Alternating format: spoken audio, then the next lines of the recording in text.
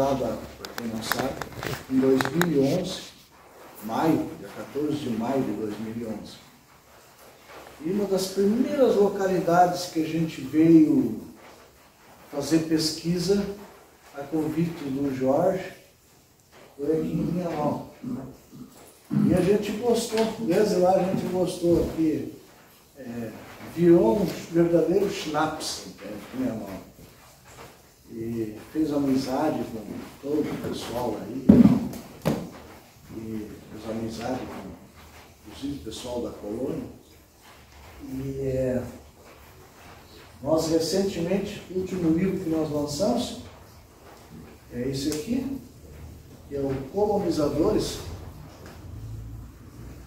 que vieram em 1863 a 1873. Aqui da linha nova não tem ninguém aqui, veio antes. Tem. Tem? Tem. tem. É, indiretamente tem. Indiretamente tem. E aí é, eu queria fazer uma capa né, que é, dissesse tudo, tivesse tudo a ver com colonizadores. Né? E aí então o Jorge disse, Jorge, me arruma uma carreta velha e uma junta de boi. Nós vamos fazer uma, uma foto, trabalhar ela, o pessoal indo para a roça. Né? Aí ele conseguiu, nós fomos lá e chegamos lá, o, o dono da carroça, ah, tá aqui, tá a carroça, bem nova um pneumático e tal, não. Isso aí não tinha na época da imigração, né? Eu quero aquela lá no sul, está de pendurada lá. Ah, aquela do meu avô, mas então é essa mesmo. Então eu quero agradecer muito. É, proprietário da carroça, seu Delmar Arendt, e dos bois, seu Arci Nino que nos emprestaram a carroça. A gente já teve lá, entregando um livro para eles e tal. É, antes de nós iniciar a palestra, eu gostaria de convidar o nosso amigo e grande parceiro, prefeito de Linha Nova. Por favor, Zé Petri. Nelly. Petri. A palavra está contigo. Que palavra? Abertura. Afinal de contas, o município está de aniversário de 30 anos, como município, né? E como história, 175. 175. Aí isso, o Xoxo vai. É.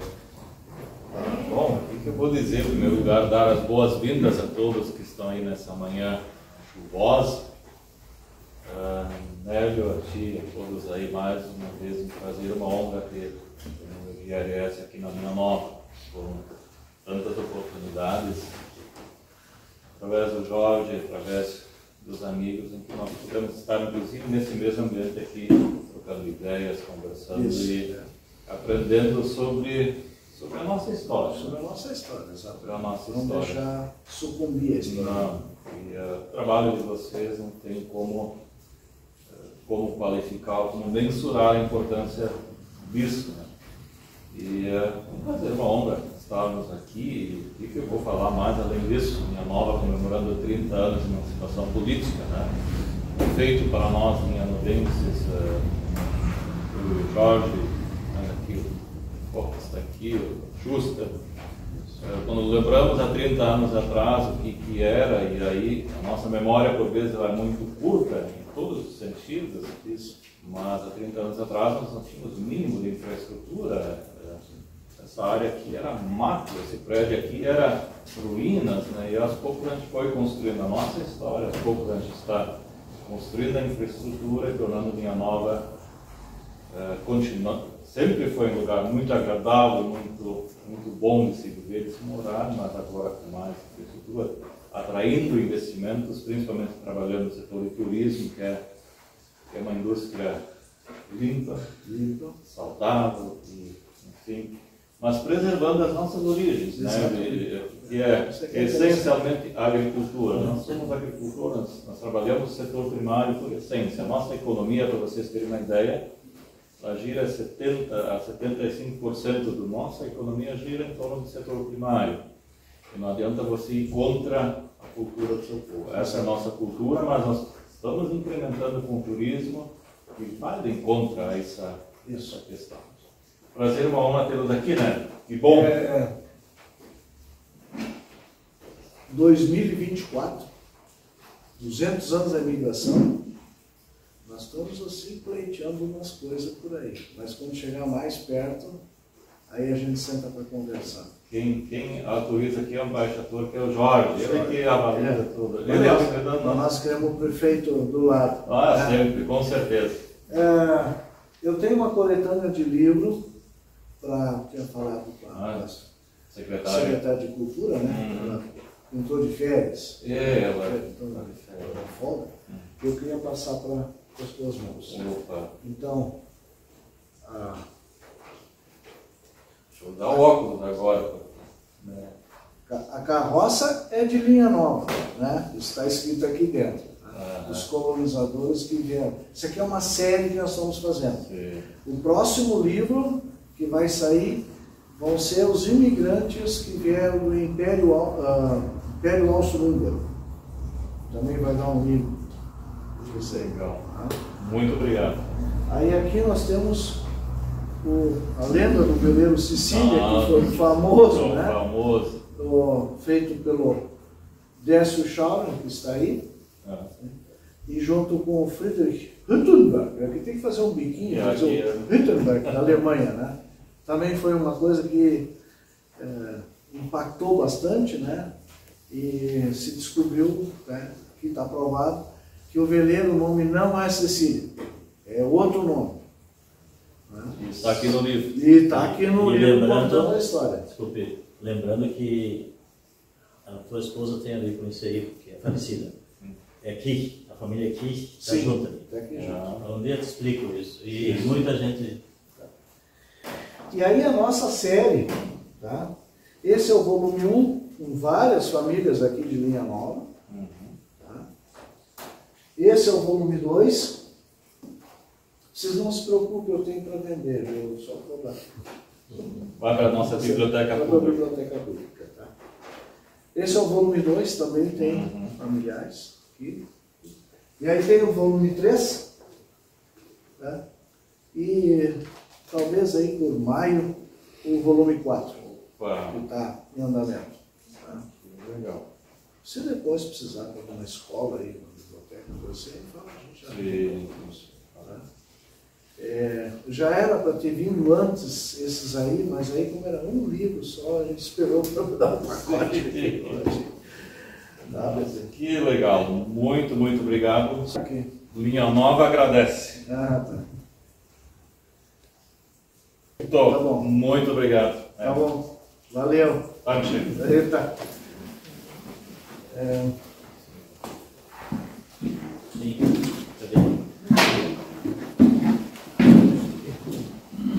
O, eu vou passar a palavra para o Jorge. O Jorge então vai. O Jorge vai dar o andamento à palestra dele. Daqui eu convidaria vocês todos a passar na casa ao lado, o Heimathaus, e vocês vão ver ali exposto muita coisa do que eu vou falar agora. E esse lugar fala por si só.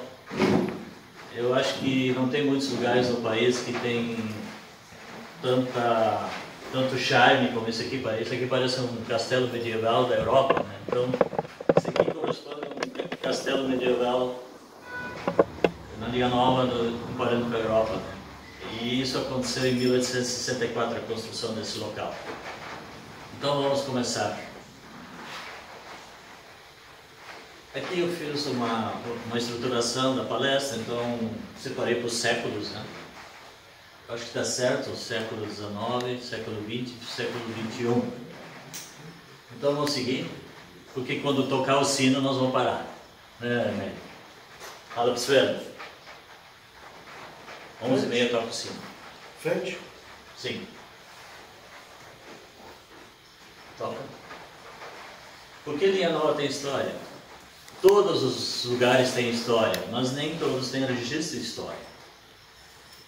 Alguém fez registros e tem pessoas que se preocupam em pesquisar. E aí eu coloco todo o nosso grupo. Eu não me considero um grande pesquisador, mas como o grupo pesquisou muito linha nova, eu automaticamente entrei no grupo por causa disso, por causa das informações que eu tenho. Não me considero historiador, nem pesquisador, mas é um, uma pessoa que informa, porque eu vivi aqui, eu nasci aqui, todos os meus antepassados, todas as linhas são praticamente desse lugar. Ali no fundo vocês têm brothers, tem as várias famílias, e se nós falar em avó, trisavó, tetravó, é, muitos sobrenomes. E eu digo que 90% sei as origens, aonde na Alemanha eles nasceram por causa de algumas amizades que a gente tem. E eu vou explicar por quê. Linha se destacar nessa área, ela, é, ela tem ainda as evidências, é um lugar pequeno, então ainda fica nas evidências. Isso aqui é um, uma prova disso, essa casa do lado também. Os cemitérios, tudo são evidências e provas do que aconteceu. É fácil de provar. Nunca teve guerra aqui, só episódios, depois nós vamos falar disso também. Mas não, eu ia pedir para nunca falar a palavra tombar. Muita gente disse, então temos que tombar. Se nós tombar, isso aqui vai tombar. A gente sabe de outros lugares, Casa Bento Gonçalves, ontem de novo um, um caso especial, onde o IFAM tomba e depois não estão nem aí. Eles só queriam mecanismos sofisticados e quase impossíveis de seguir para tu fazer uma restauração como essa. Se fizer tombar isso aqui, uma restauração tombada, isso aqui é impossível de pagar conta. Aí vai tombar mesmo, ninguém bota. Então o tolhado original provavelmente não é zinco, tá? Mas talvez um dia nós vamos fazer uma coisa mais parecida com Schindler, não sei. Mas olha essas paredes. Então o principal está mantido. Então não vamos estragar o que está bom é, continuar fazendo encontros como esse, isso aí ajuda a ventilar o lugar, ocupa o lugar e dá vida ao lugar. É muito importante essa participação. Por isso eu já agradeço a todos. E...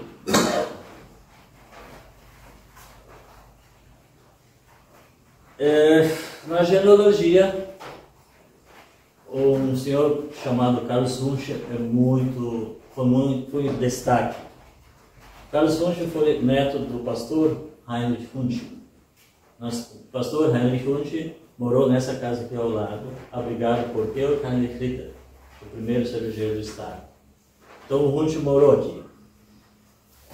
É, ele foi 40 anos pastor na Linha Nova, ele foi pastor em Alcatraz, Picada Café, grande amigo do Rotermund. Rotermund, para quem não sabe, foi um grande escritor, foi escritor, tinha jornal em São Leopoldo, então eles escrevia muito sobre as histórias da colônia e é amigo dele. Foi no início da. teve problemas porque tinha conflitos aqui. Ele foi incentivador da construção da igreja de Linha Nova, essa igreja que está aqui do lado. E hoje o colégio estadual tem o nome dele. O neto Carlos Conte, então, é, que é neto também de Ritter, foi o que se dedicou a escrever. Ele estudou na Alemanha, ele foi um, a, história da imigração. Então, Runge é um dos mais conhecidos escritores de genealogia, talvez o mais importante, e tem raízes aqui nessa casa. Nessa casa. Ele vinha para Via Nova, mas na época não tinha um grupo de genealogia, ninguém dava sustentabilidade, ninguém dava é, até credibilidade do que ele falava, ninguém entendia o que ele falava. Ele era diferenciado, ele era um filósofo. E o Carlos fez muitas referências à Linha Nova, mas como sempre ele teve os informantes. Um dos informantes é era a avó do Cristiano Odrich, né, Cristiano? Tu é testemunha disso? Dos informantes do Ruth e quem, eh, quem passava as informações para ele. Uma era a tua avó, Henriette, e a, e a avó dele, a, a Guilhermina, a Guilhermina Rita, casada com Trai. Elas, as, as, ambas viveram mais de 100 anos e lúcidas. E elas davam essa informação para o Carlos Hunt. E com bom humor. E com bom humor.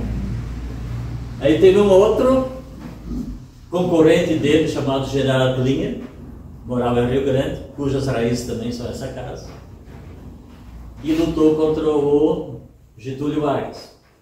Aí eles mandaram para a Europa, ele também escreveu sobre a família Ritter. General Klinger, se vocês botar no Google, vocês vão ver que ele foi um dos. É, ele morou em São Paulo e ele, ele foi contra a, a ditadura do Getúlio Vargas. Hoje eu já quase estou dando razão a ele. Tem que estudar um pouquinho mais para entender um pouco melhor. Porque o Getúlio Vargas, quando ele mudou de lado na Segunda Guerra, ele nos perseguiu. Vocês vão ver isso mais tarde. Nós já éramos, os nossos avós já eram brasileiros, mas eles, eles consideravam uma etnia alemã. Isso está provado. Isso não é bom. Segue. É, esse é o texto que o Rudy escreveu quando veio para a Linha Nova. Quer que eu leia ou cada um lê? O início, das, é, são as palavras dele. Os inícios das minhas atividades aqui não foi nenhuma facilidade. Passou-se por toda sorte de experiências de alegria e sofrimento interior e exterior. A comunidade estava dividida e esta divisão persistiu ainda por diversos anos. Apesar disso, a construção da casa paroquial foi decidida e levada a cabo e, em 22 de fevereiro de 1971, pude me instalar nela. Depois de alguns anos, chegou-se também a construção de um prédio escolar e, ao lado, uma moradia para professor e, finalmente, a unificação de toda a comunidade, a qual, na reunião do dia 4 de maio de 1874, formulou a decisão a comunidade mantém e remunera somente um pastor e também um só professor. Casa paroquial e prédios escolares são propriedades de toda a comunidade. Casa paroquial. Isso foi um ricamente abençoado avanço, pois com ele voltou novamente a paz e a harmonia que até então haviam feito tanta falta. E com isso, uma nova alegria para o agir. O antigo, acima aventado prédio da igreja, no qual se realizaram os cultos, mostrou-se em especial nas ocasiões festivas como, por demais, acanhado.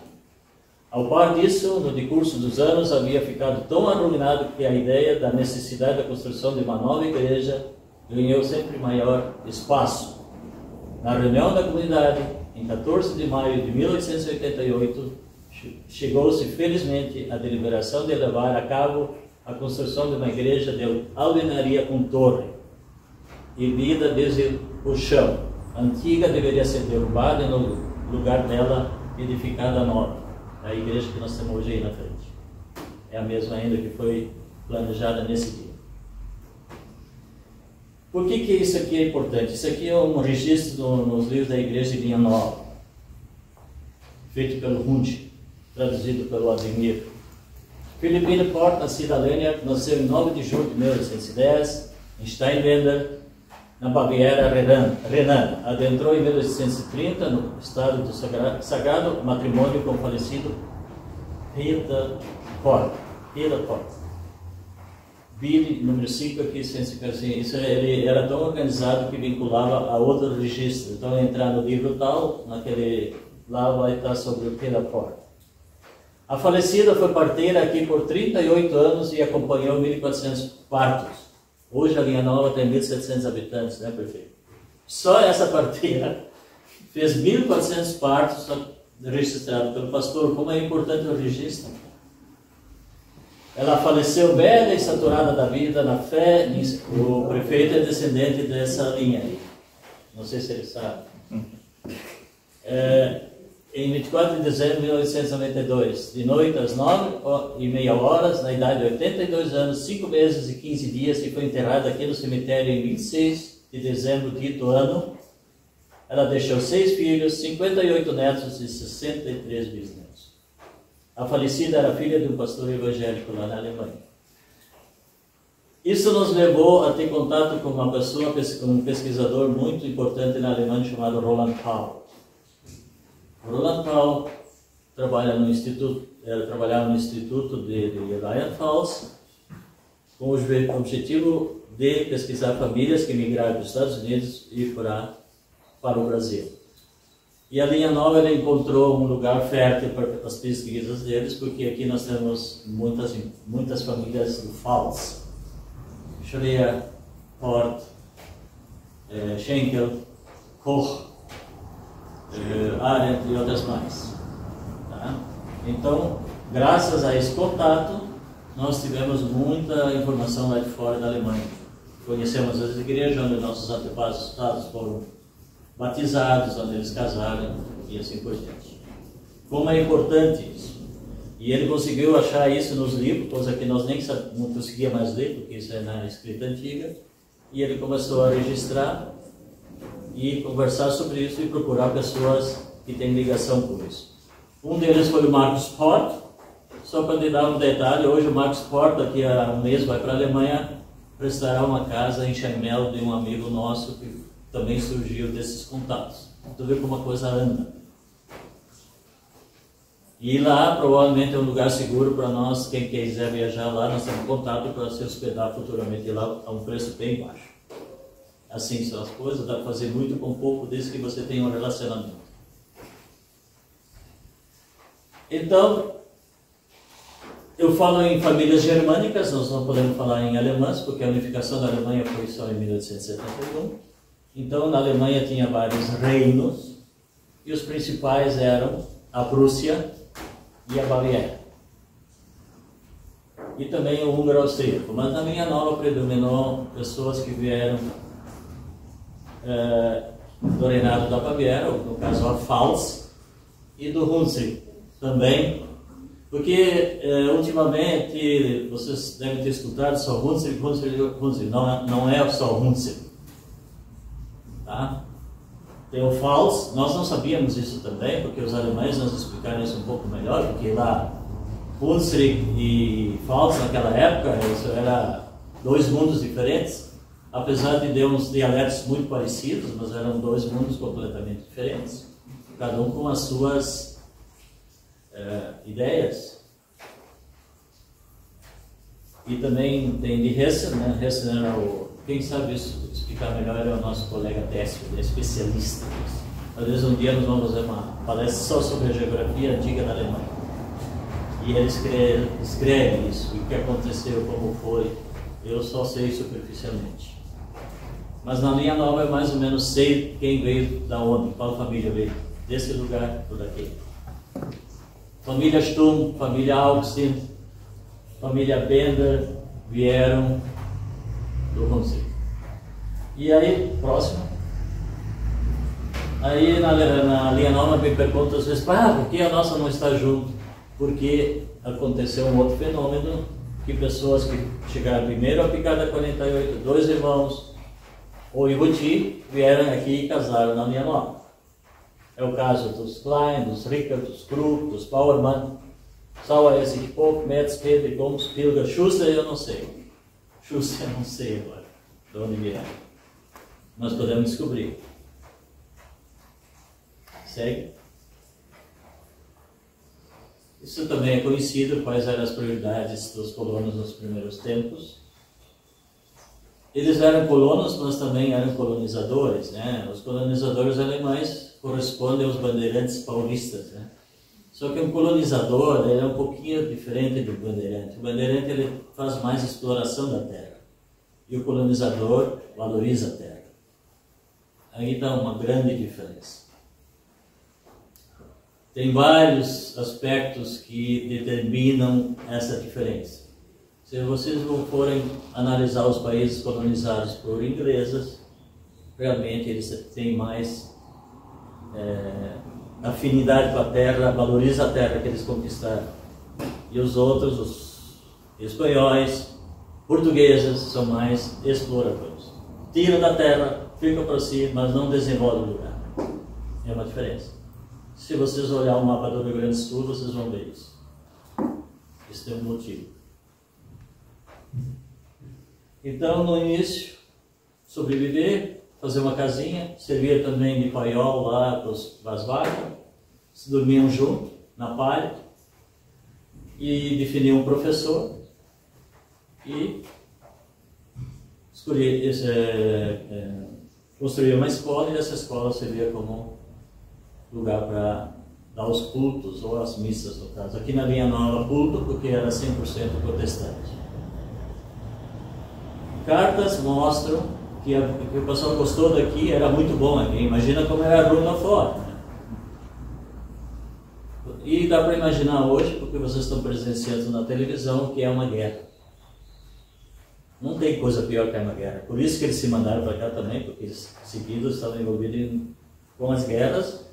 E a gente sabe que o exército prussiano era muito forte, determinava o serviço militar e era muito treinado e eles dominavam a Europa e, e depois mais tarde mandaram soldados até para o Brasil a pedido do, do, do nosso rei aqui para ajudar a defender nossas, nossas, nossas fronteiras aqui também. O cristiano também sabe uma guerra. Felizmente o Brasil é da paz. Ele pode contar, ele estava no Suez como, como é que se diz? Legião da Paz para não deixar lá os árabes e os, e os brigar entre si. A palha entre os vidros, entre as garrafas. Porque não tem nada pior que a guerra. E a Europa está. O pessoal fala, a gente fala com a Europa, eu trabalho com uma empresa de lá e eles estão muito preocupados. Mas muito mesmo. Pode acontecer uma coisa muito ruim. E talvez nós vamos ter que abrigar nossos parentes de lá para cá de novo, não sei. Pode acontecer. Segue. Então, a formação da comunidade, a imigração começou em 1847, mas a comunidade se organizou em 1856. Adquiriram uma área de terra, essa área de terra ainda está aí. É, surgiram pequenas modificações, porque o cemitério houve permutas né, para o cemitério. E ao lado da cervejaria Coera, aquela extensão de terra que vai para direção ao leste, tem 25 hectares lá. É um legado deixado pelos nossos imigrantes que compraram essa terra, por incrível que pareça, graças ao estudo do, do Krug, essa terra pertencia a um católico. E foi embora daqui, né, Cruz? Sim. Ele Santa Cruz do Sul. Imagina, uma comunidade totalmente protestante que comprou as terras de um católico para fazer a comunidade evangélica. Isso na Linha Nova acho que ninguém sabe. E tu tem provas e evidência disso, para ver como o Krug é dedicado. E nós vamos ter que mostrar isso. Nós temos que recuperar mais coisas, vão surgindo mais coisas e mais coisas. E eles têm acesso a arquivos que eu não conheço, é o arquivo público e não sei o que mais. E nós, em Porto Alegre tem muita coisa, no Rio de Janeiro tem muita coisa. Então, eles têm acesso, não, não tem tempo para ir lá. É, seria isso, escola comunitária, né? E essas terras, esse legado existe, está hoje tudo escriturado. Um hectare está vendo ali na esquina, se quem quiser comprar. E eu acho que o resto nós também fazer um projeto importante para o futuro da Linha Nova. Aí vem a importância da família Rita. A família Rita morava, foi construída, é, morava aqui do lado. Tá? O, quem construiu essa casa é um filho do imigrante Rita, que veio para o Brasil com seis filhos. Ele já tinha 50 anos quando veio para o Brasil. E o Gerhard Ritter, o filho mais velho, então, é considerado o patriarca da linha nova, por causa da comunidade, ele abrigou o pastor Rutger e também considerado o primeiro cervejeiro do estado do Rio Grande do Sul. Porque com essa cervejaria, os filhos, enteados, sobrinhos desenvolveram atividade cervejeira em Pelotas, Rio Grande, Porto Alegre e São Lourenço. Ali tem um quadro que mais ou menos mostra a genealogia da cerveja do estado do Rio Grande do Sul. Todas as cervejarias, como até hoje é, fundem, misturam, e em 1946 vieram após a formação da Continental, que é a fusão de várias, houve a absorção da Brahma, que hoje é a Ambev. Então a Ambev tem ligação com esse lugar também. Aqui era a cervejaria. Aqui nesse local onde vocês estão sentados. E graças a isso, reconhecimento a isso, o parque tem o nome dele.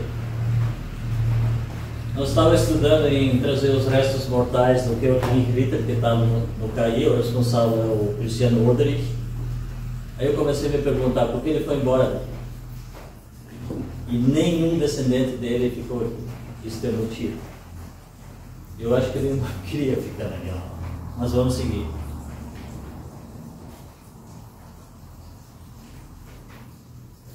E eu acho que o motivo é esse. A filha mais moça estava morando no Caí, que era minha avó, isso. E, e vocês viram que o Runche unificou a, a comunidade. E 1874 coincide com o término da, do episódio dos Bucas. E eu tenho 99% de certeza que o episódio dos Bucas foi responsável pela primeira migração de famílias da Linha Nova. Isso está facilmente visto quando nós fizemos encontro famílias envolvidas indiretamente ou diretamente com esse episódio. Tudo se transferiu para o Vale do Taquari, Marquês de Souza, Porquetinha e alguma coisa depois de Nova Petrópolis. São famílias que se dividiram, não se acertavam mais e foram embora daqui. Fux. Você sabe onde está enterrado Mudo Fux? Travesseiro. Ele fugiu daqui. E outros Fux foram para Marquês Souza. Então, nós fazemos um encontro de família Roche, Ara, Noi, Fux, o Vale Itaquari, está aí preso aí. Então, os encontros de família promoveram isso entender isso. Por isso eu afirmo 99% de certeza que o motivo de imigração foi esse. E o Ritter está envolvido porque ele foi, como ele era líder da comunidade, ele era foco dos números. Com certeza, até porque a viúva dele era Fux e faleceu em 1868. É, Cristiano? Eu acho que sim. É, o, ele sofreu também atentado, envenenamento. Meu cunhado. Pequenos dedos, coisa assim. É. Então, seguindo, é importante as emancipações. Então, em 1 de maio de 1875, São Sebastião do Caí emancipou de São Leopoldo. Então, inicialmente, aqui era São Leopoldo. E olha o movimento que tem esse porto aí. Casamento hoje são as terras do Cristiano Rodrigues. Vê se tem porto lá. Porto Mas está tudo lá. O porto do encalha um caico, está todo assoreado. Mas essa foto hoje são terras do Cristiano Rodrigues. Um lugar muito bonito. Um cantinho. É, estrategicamente muito importante na imigração.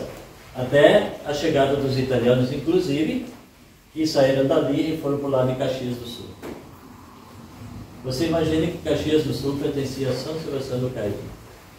E ela emancipou em 12 de junho de 2018 de São Sebastião do Caí. Então, Linha Nova e Caxias, uma vez, era uma, uma como é que se diz, um município político igual, é, junto, né? era uma coisa só. Fala. Uns italianos, meu, meu tio Carlos, o irmão mais velho do pai, ele contava que ele nasceu ali na Barranca do Rio, onde é a casa lá, a cervejaria do filho, eh, do meu filho.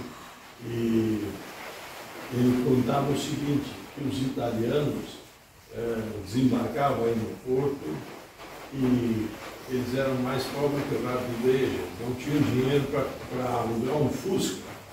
Aí eu, eu, eu, eu, que Fusca não é não? Fusca na época era um burro para subir para Nova Milano. Mas eles dizem que eles juntavam as coisas deles e saíam cantando. Eles eram, eles eram muito alegres, saíam cantando pela rua lá, a pé, para a linha pra Nova Milano.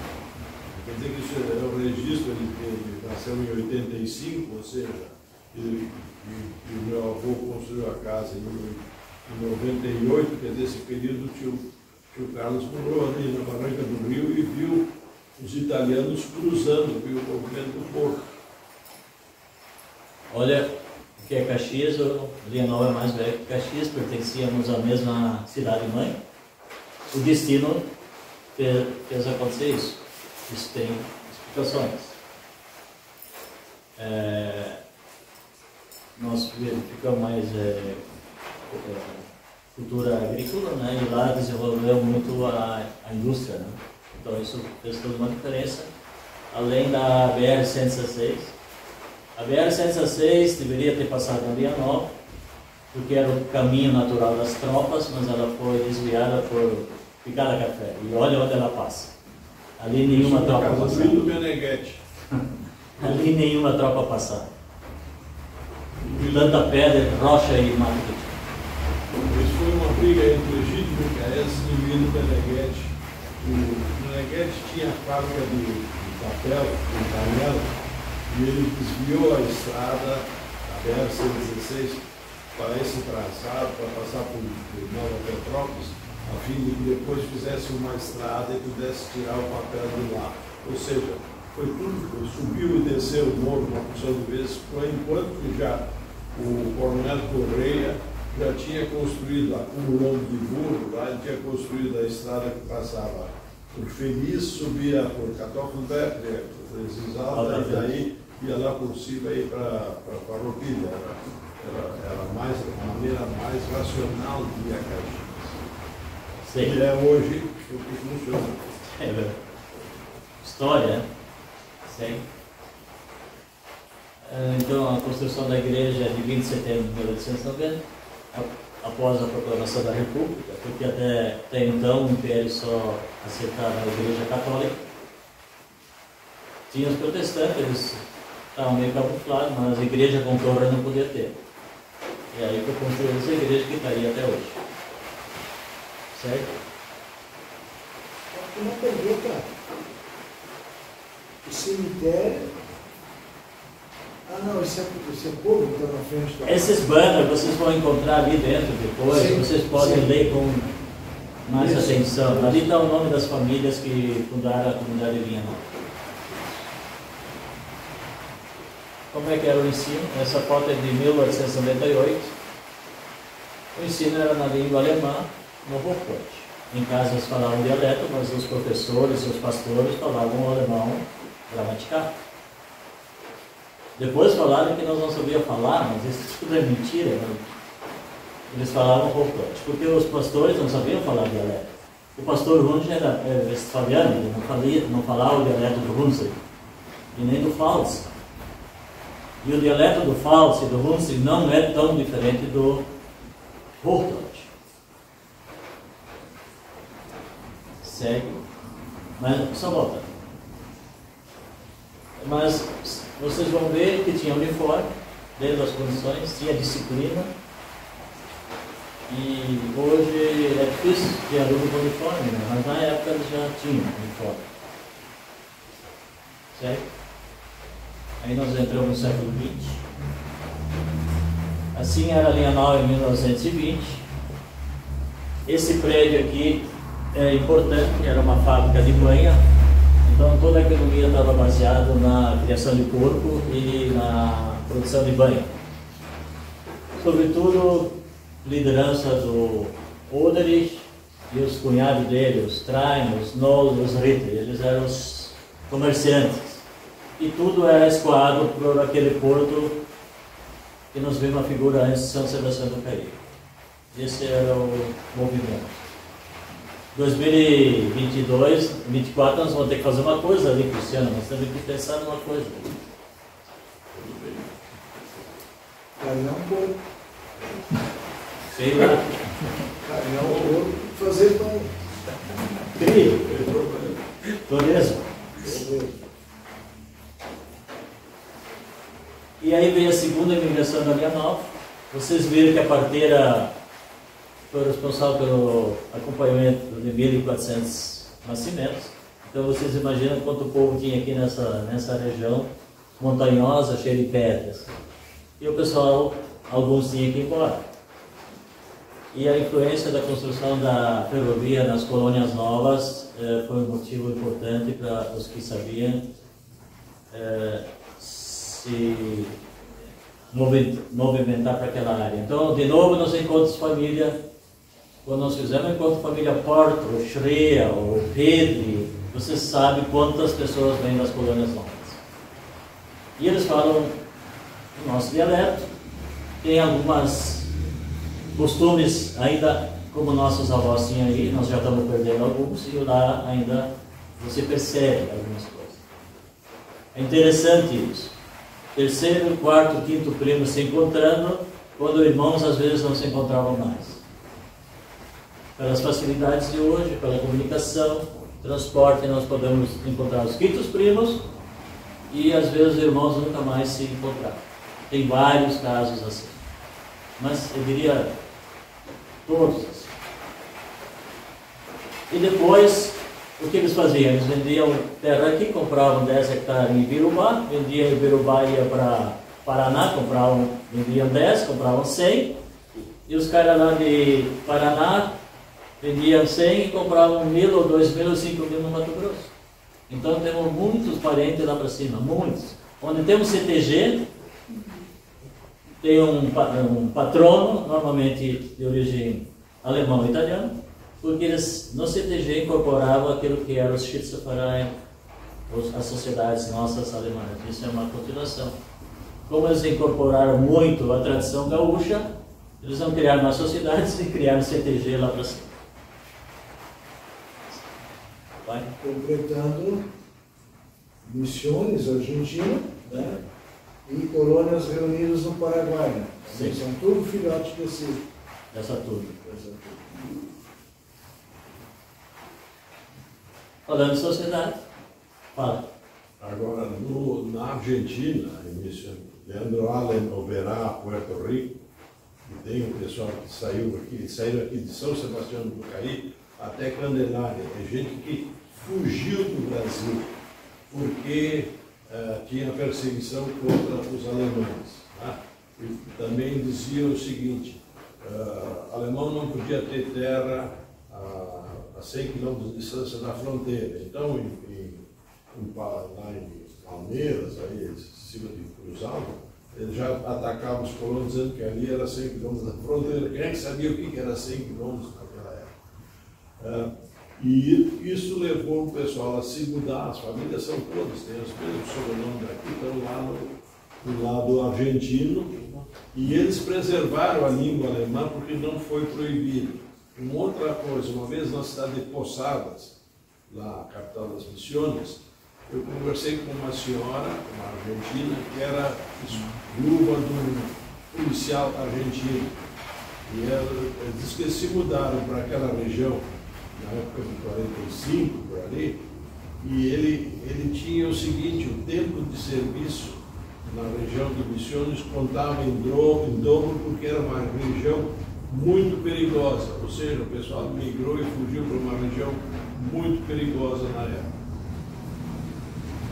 É, um dos motivos, uh, o perigo fez criar as sociedades de tiro, os vocês imaginam que depois da proclamação da República aqui, nós tinha, eu não sei, eu sempre me confundo os maragatos e os chimangos, então havia confrontos e os colonos eram visados também. Então o pessoal se organizou com um argumento de Xisfará, treinavam e se armavam. E aí melhorou. Isso tem é, registros também do professor Urbano Saib, lá de Nova Petrópolis, que ele sabe bem essa história. E também a gente sabe que pessoas aqui foram para Juí, e eu, eu que, constru, que o primeiro presidente da sociedade foi meio que justiceiro lá em Juí, até nome de rua tem, Alfredo Esteves. E casualmente meu trisavô também foi para lá, não sei o que ele foi fazer lá, mas também serviu eu. E o meu trisavô foi fundador da sociedade aqui.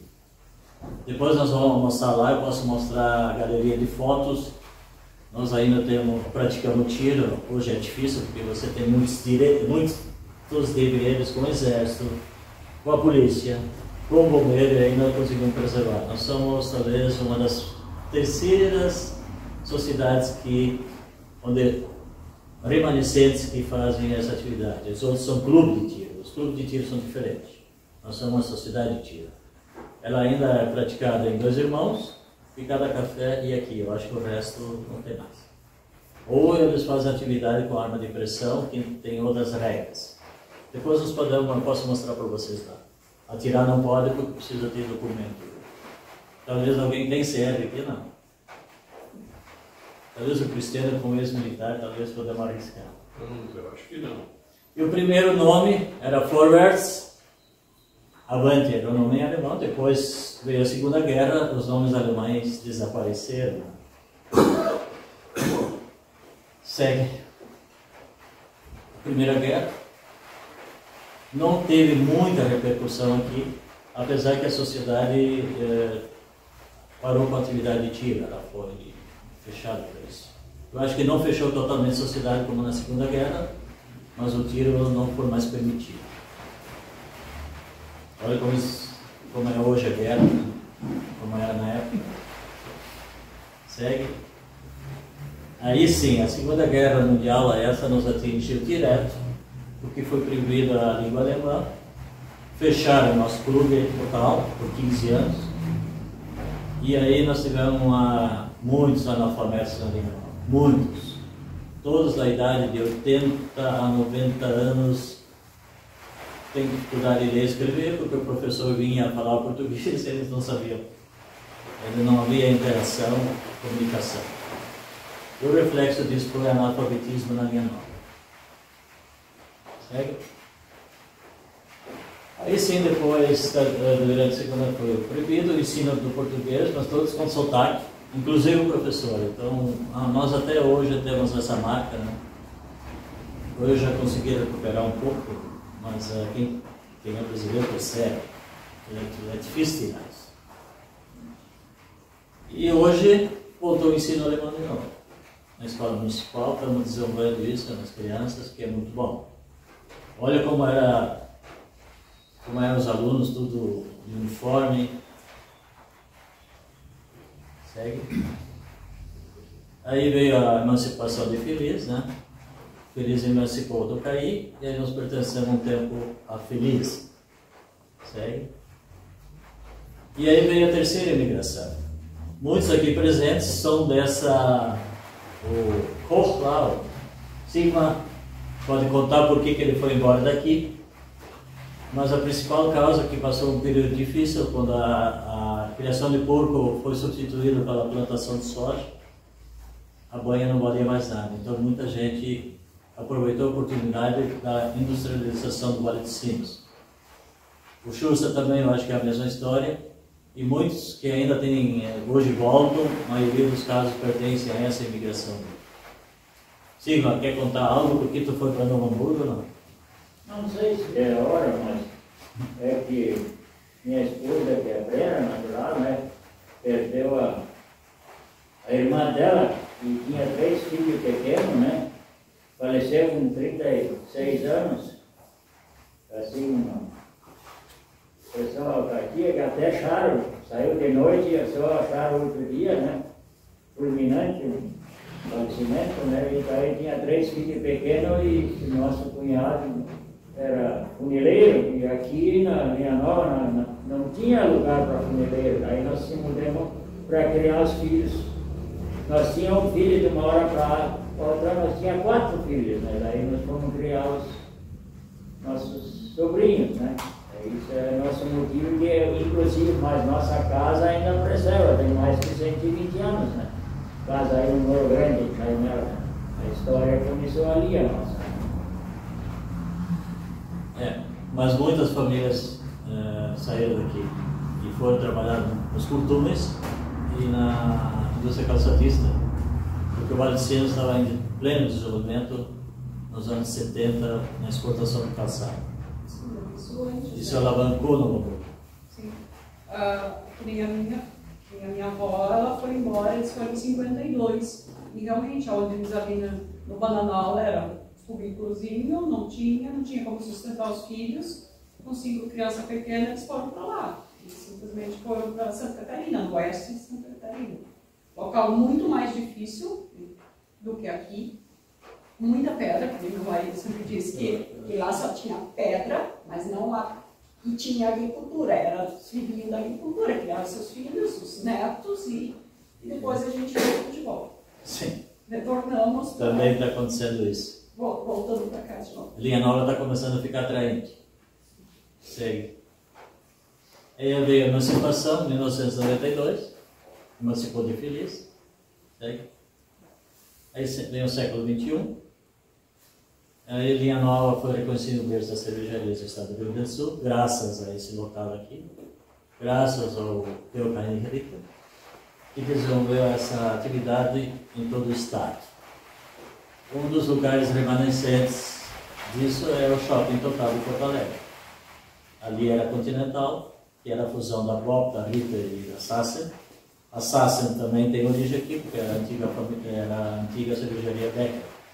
Quem quiser olhar das cervejarias, tem um quadro lá que mostra a genealogia das cervejarias do estado do Rio Grande do Sul. Seguindo. Aí foi inserido na Rota Romântica, e a nova pertence à Rota Romântica, e é a tendência de desenvolver o turismo, como o prefeito falou antes.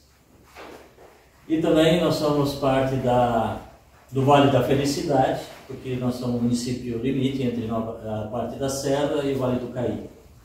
E também fomos, fomos uh, e queria botar nós no Vale Cinza, porque nós somos muito atraentes em termos de cultura, é, essa, essa, cultura que nós temos. Ela é forte, então nós somos atraentes por causa disso. Mais do que nós imaginamos. Certo? E aí, aí se criou o Heimatfest, que era para ser amanhã, mas por motivos maiores não vai sair, uh, desentendimentos. E aqui do lado nós temos o Heimat House. O Heimat House, é, quem sabe que é Heimat é querência. O melhor sinônimo para Heimat é querência. Não tem uma tradição, pátria não é pátria, é querência. Por isso também, não por isso, mas tem uma afinidade entre o que um gaúcho pensa o que um alemão imigrante pensa. Tem muita conexão. Segue? E o futuro?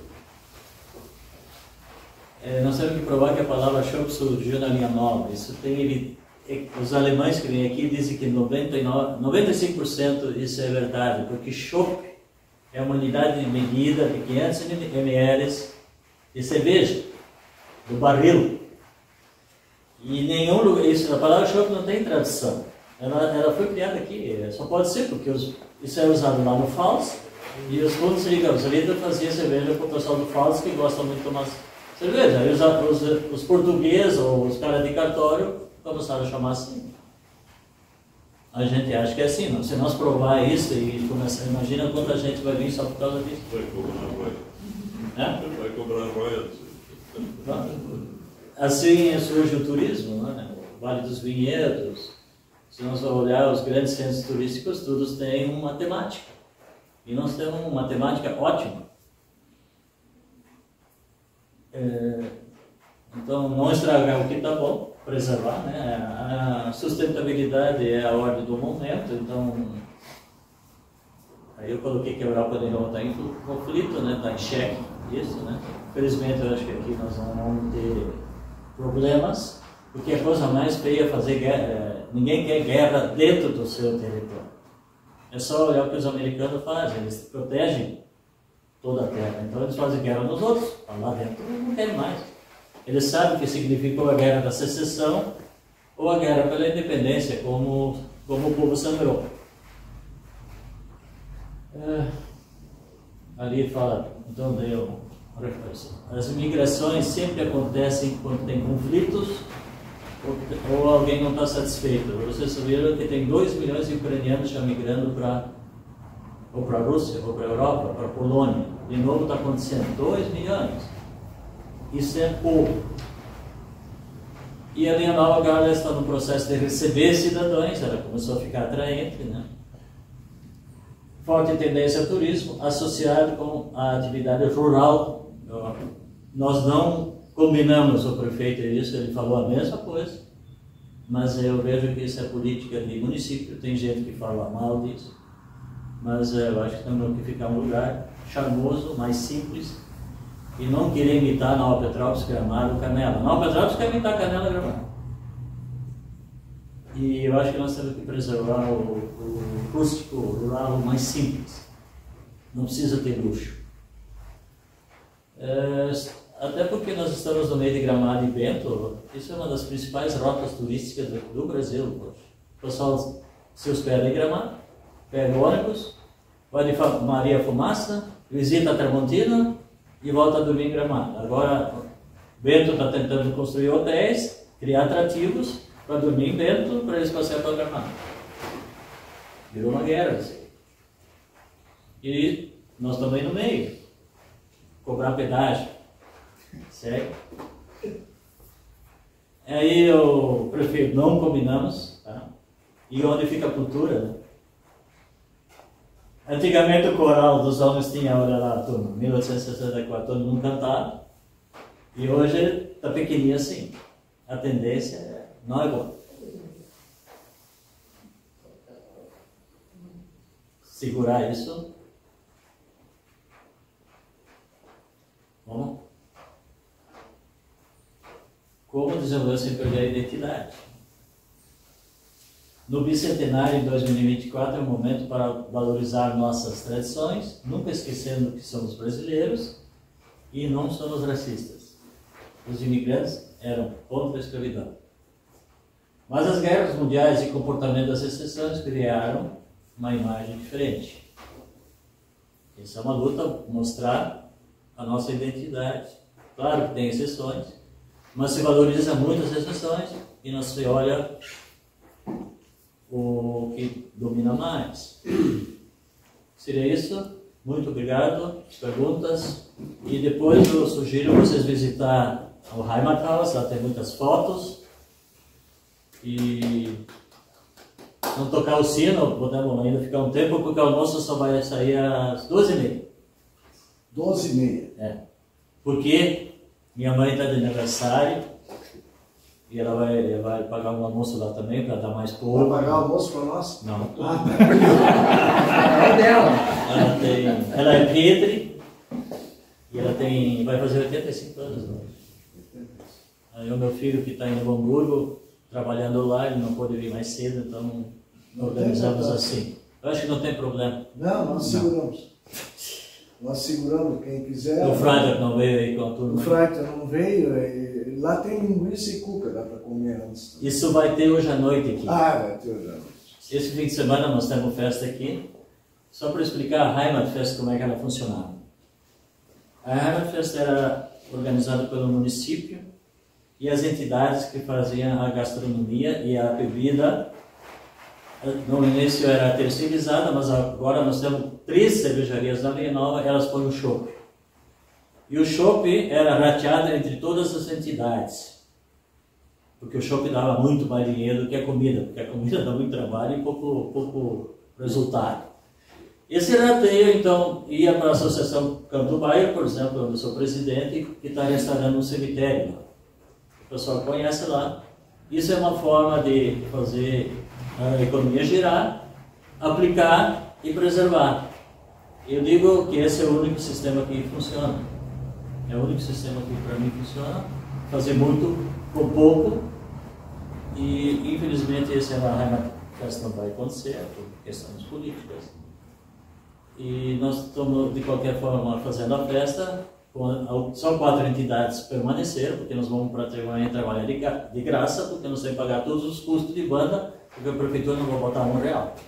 Não pode, por por causa do Tribunal de Contas. Então, as, as, as, as, as associações estão fazendo por iniciativa própria e risco próprio a festa. Quer dizer que se a prefeitura botar dinheiro, o prefeito dança.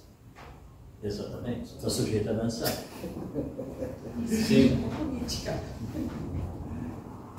Perguntas? Cristiano, Bom, vamos falar de negócios. Ah, isso é contigo. Os outros são negociantes. Isso é a, a bom. Bélgica, a Bélgica, a Bélgica observava um fluxo fantástico de aviões vindo dos Estados Unidos e, e pousando em Frankfurt para fazer turismo. Ali de Frankfurt, os turistas americanos iam para lá e para cá, etc. Alguns até iam para a Bélgica. O que, que fez a Bélgica? Estudou o que, que eles tinham de especial e começou a fazer propaganda na, nos Estados Unidos, que eles tinham a parte cultural, eles tinham grandes museus, etc. E tal, então conseguiram desviar uma parte do fluxo para pousar em primeiro lugar na Bélgica e depois ir para os outros países. O que, que fez Nova Petrópolis? Nova Petrópolis só tinha borrachudo e era lugar que tu passava ligeiro para ir para Gramado. Tá? Aí, genialmente, fizeram a aldeia do migrante. A aldeia do migrante fez o pessoal parar para dar uma olhadinha na, na, na aldeia e aí surgiu tudo isso que está por aí.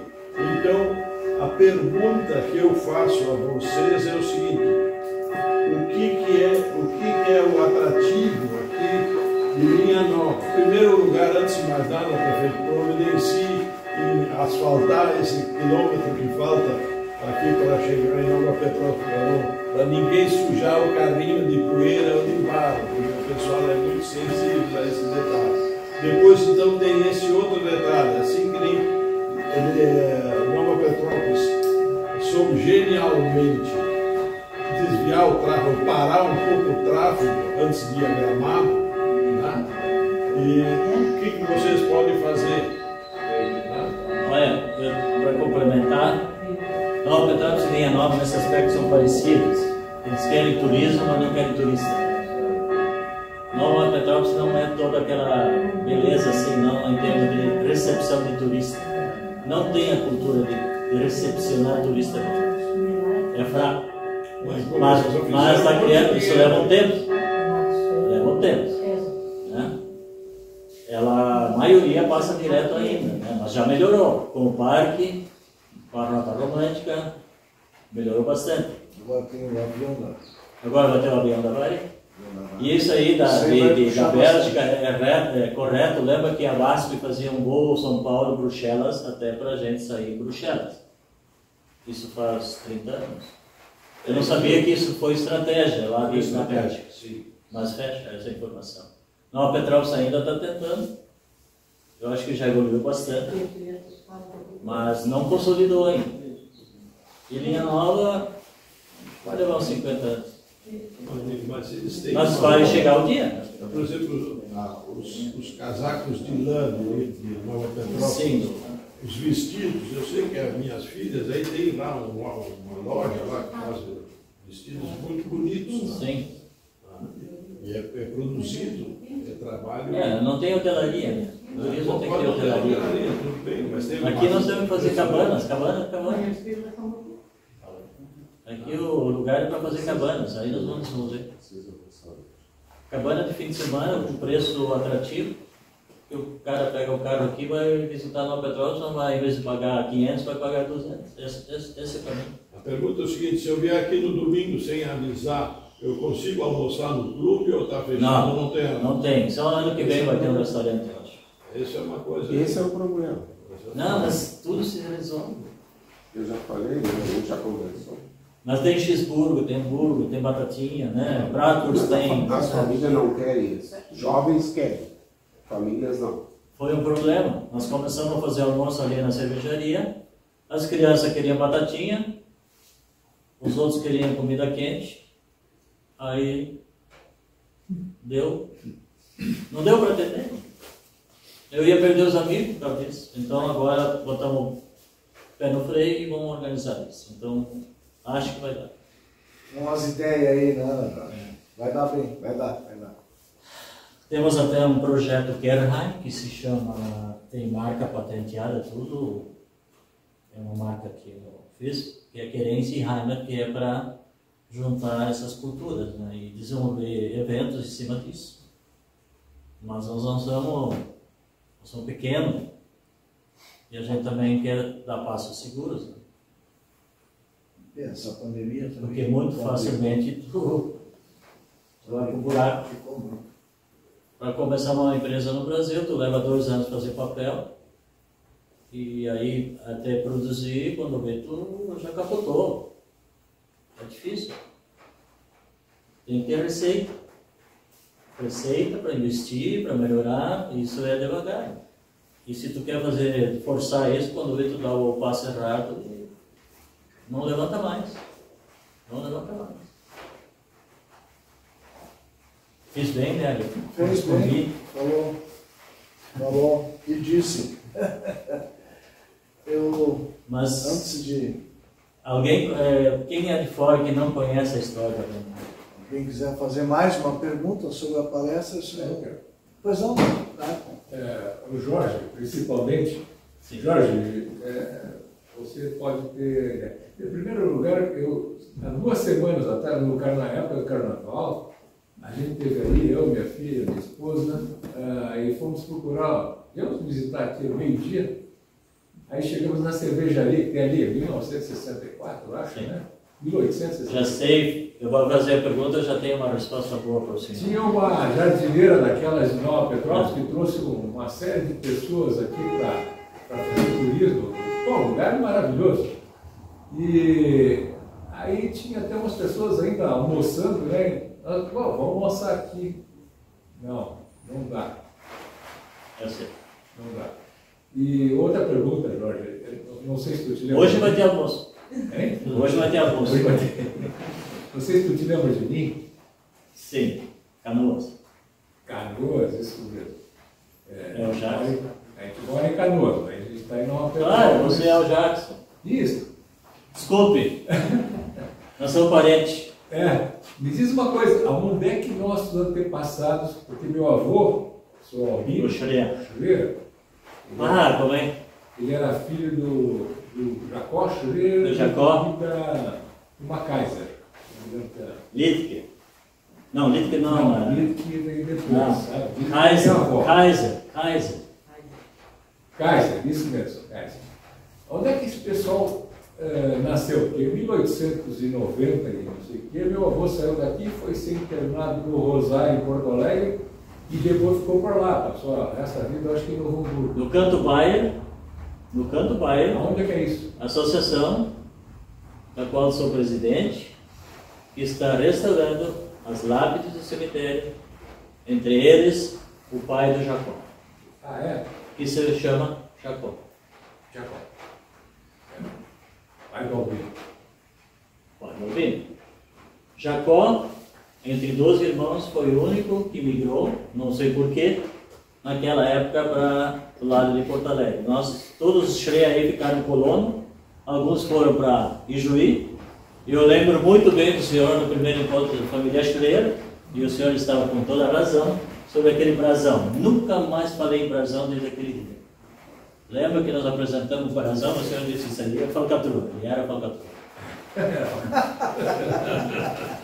Já arrumamos inimigo por causa Então disso. todo mundo quer ter brasão. Ah, Aí um alemão me disse, esse Roland Paulo, tu já viu colono ter brasão? Isso não tem nobreza nenhuma. Aí, aí eu perguntei ele, né? é, tem o brasão e o escudo, né? É. Uma coisa parecida assim. Mas eh, nós eh, usamos o brasão do local hoje, Espespa, no caso, eu tenho muita informação para vocês. Tá. E eu posso te levar lá no canto. eh, hoje não é o melhor dia, eu espero. Hoje não é o melhor dia, mas vem um dia normal, nós vamos pegar o carro. Eu posso ir o carro lá e te levar hoje lá. Dá para fazer um rally. É, hoje está chovendo, né? Então, É chão batido. Chão batido. Sim. É, Não, então não vou. Tá, aí, aí o Cristiano tem razão. É, o Cristiano já falou aqui, um quilômetro, eu acho que é mais do que um quilômetro. Não, são seis. Seis quilômetros. Um quilômetro. Ele Ah, não, falou não, para a essa estrada mais três que eu falo. Não, eu falo de- do asfalto. É que o Jacó, eh, o, o Albino foi, foi, foi importante no Hamburgo, o Albino. Sim. Porque ele foi vereador. Ele, ele ajudou a organizar o Schützenverein lá. Lá, atiradores, ele estava dentro, ele atirava, né? Eu acho que ele aprendeu aqui. E atirado, né? Claro, pode Ah, olhar eu lá. que tinha um lá. Só que atiradores hoje fechou, né? Quebrou. Sim. Infelizmente nós estamos em pé ainda. Pequeninhos, singelos, mas em pé. Está no volume. O volume não sei. É, o volume Está aqui, ó. O a É, história. eu acho que eu tenho esse livro aí, eu estava Vou- dando uma olhada nele. Ele, ele forneceu foi o Elton Krause. Ah, sim. Eu Sim. falei, né? Elton? É, sim, sim, sim, sim. O Elton, é, o Elton ele é Me lembro da- nosso amigo. Lembra da, da a Shreya lá de Novo Hamburgo, da Enga? Leslie? Né? É, Leslie. Ela também. Nós fizemos encontro da família Shreya Isso não aqui. vai sair no vídeo, viu? Nós fizemos encontro da É, família A Shreya aqui. conversa Ela veio uma, não sai. veio uma semana antes para ver que, que cara eu tinha que vir, porque não tinha. Na época não tinha asfalto. Deixa eu... Não. Eu tenho uma outra pergunta sobre esse livro aí. Por que, que termina ali no Alvino e ele não tem mais os filhos ali? Porque ele teve 12? Sim, porque a gente teve que limitar. É importante é ver a conexão com a Alemanha, porque senão nós ia fazer um. O objetivo do livro, o objetivo do Conselho de Genealogia é colocar um limite de gerações, tá? principalmente para evitar colocar os vivos. Existe uma série de problemas aí, ainda mais agora com essa nova lei. Né? E o objetivo principal do livro era fazer esse elo de ligação. Quem chegou aqui, de quem era lá. Então, no nosso livro, a descrição da genealogia começa com um, um é o pai do imigrante. Né? Mas dá para descrever os anteriores, não tem problema nenhum. tá? E aí agora, no volume 3 e o volume 4 que está para sair, nós estamos chegando até a sexta geração. Até a sexta geração. Onde já começa a aparecer os vírus, mas já os vírus adultos. Evita colocar o nome de criança, de menores. Aí tem o problema de casais que se separaram. E aí começa a dar, pode dar problema. Então a gente procura. Mas nos livros, por exemplo, se a família, alguém quer fazer das, dos quatro avós, né? Dos quatro avós, reunias, aí tudo bem, a gente fez a família Stockman, botamos 18 gerações. Então aí não tem problema nenhum. Esse aí é só uma questão de, de reservar alguns. Jair, né? Né? É. Né? É. Eu, eu não sei de onde é que a minha mãe tirou esse nome Jair, viu? Pois é, eu estava pensando. É, ela deve ter. Eu quero que bota o nome de. Chairo. Ô, Nélio, Ah, ah, tem uma pergunta. Ali o nome da minha avó, casada com Alvinho, está um livro diferente. E ela era lá da linha Brasil, que é igual a Sim, eu sei. dessa- dessa- Linguiça lá, essa sim. Aham. Isso. Boa, amigo. É o mesmo? Esse problema de sobrenome. Questão Tá? de pronúncia. É, na hora de. de é, é Lütke, é Lütke com U tremado, é U E, isso aí, o que, que nós colocamos? Nós partimos do princípio que cada família ali é o autor. Né? No caso aqui foi o Schreer. Né? É, e aí um dos revisores disso aí é o Décio. né? É, nós, nós inculcamos com os autores, né? aqui o volume 1 tem 66 autores. Cada família tem um autor. Então ele é o responsável pelo registro. Quando nós detectamos que tem algo errado, a gente fala com o autor, olha, isso aí não é bem. Ah, mas é isso que está escrito lá no registro da igreja. Bom, então, se está escrito no registro da igreja, se botou lá é, um sobrenome meio esquisito, porque o pastor escreveu assim, ou o padre, que não era alemão, escreveu pior ainda, né? É o caso do Fonseca, né? Fonseca, né? Então, se complementa com entre parênteses o registro adequado e tal. Né? Isso é um problema, isso é um problema. Fala, senhor Deus. É, o problema maior era a escrita gótica. Ah, uma vez uma prima me pediu. Gótica, tu quer dizer, é O o, Handschrift. é o, é o alemão grego. O alemão. Ninguém entende. Como é que era? Sutherland. É, por exemplo, a, a família do lado da minha mãe era Rasmussen, dinamarquesa.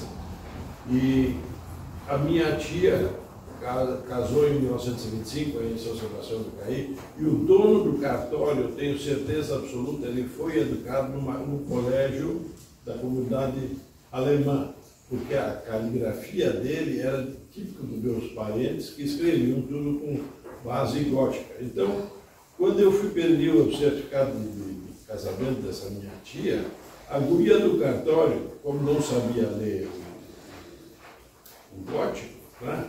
ela escreveu M, M, M, M, M, M, M, M. Ela me botou meia dúzia porque o M, o N e a letra E, o E também é parecido, porque é dois É, é tracinhos. problema. Ela, ela encheu aquele disse, pô, meu filho, isso aqui está completo, eu não posso. Então, esse sujeito, ele era, o, o dono do cartório ele era de origem portuguesa, era um nome bem português, mas o cara escrevia tipicamente em gótico. Esse livro aqui. Então dava para ler. né? Esse livro aqui dos colonizadores, de 1866 a 73, que foi, foi o André Hamann, um dos principais é, que transcreveu isso aqui dos códices do arquivo histórico.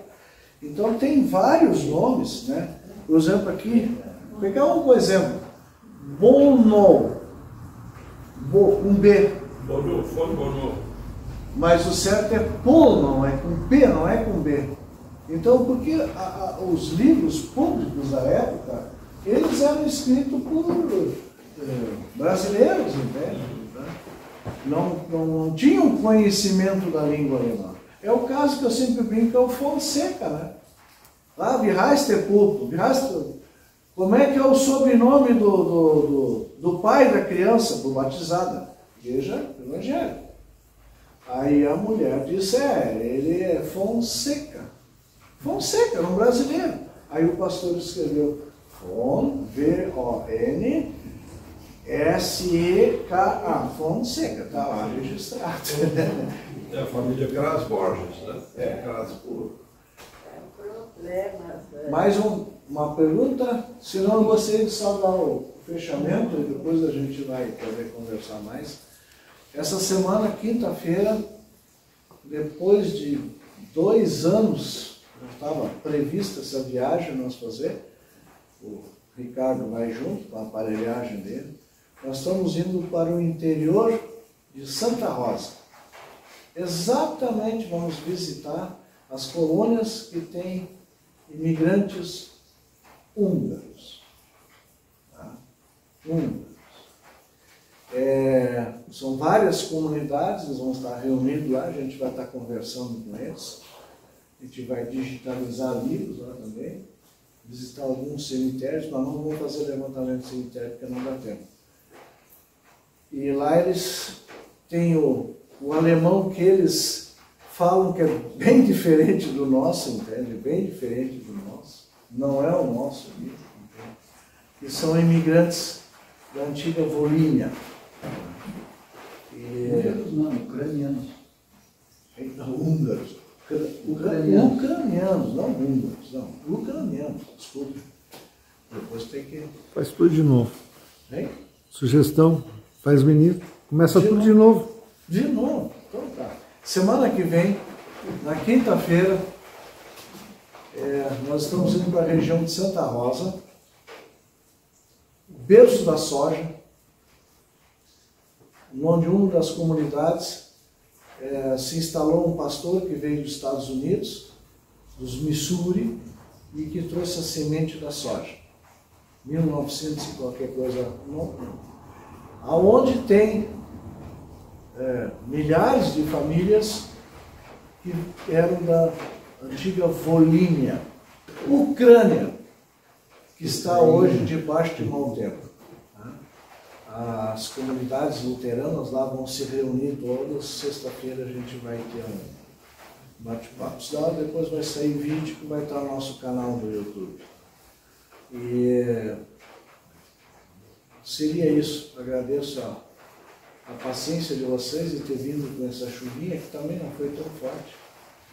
Mas a gente vai voltar com o sol. Espera-se.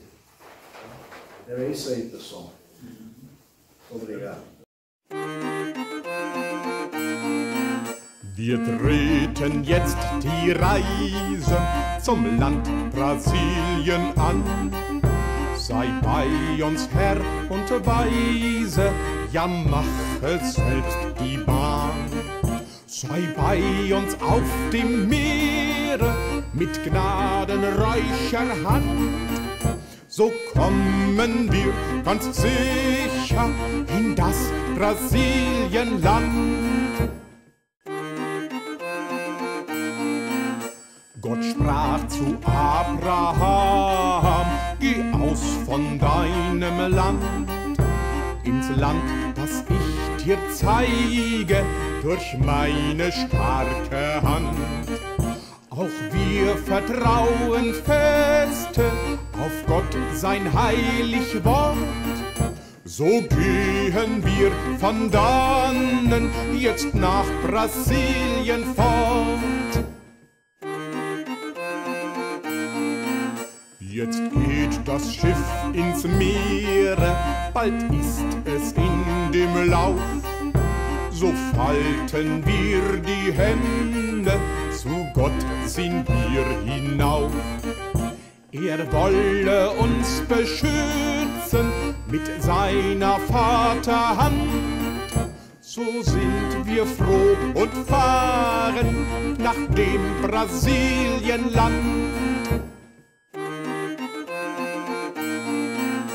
Nach vielem Wunsch und Sehnen, nach vielem Wunsch und Wort, hör ich ein großer Jubel, ach was erblick ich dort.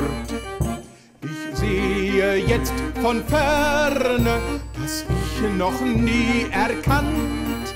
Seid froh, ihr meine Brüder, ich seh Brasilienland.